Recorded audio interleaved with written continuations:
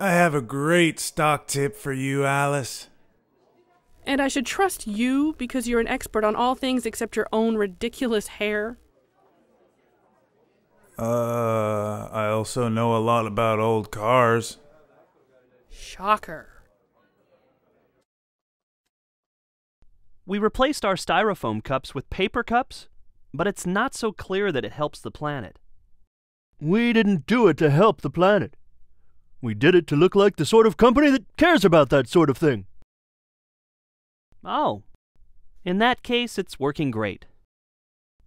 As soon as you stop whining. My project has no progress and no hope for progress. I scheduled a meeting so I can fantasize that it will produce a breakthrough. I recommend that we have a meeting next week so you can fantasize that you'll coach me to higher levels of performance. Sounds good.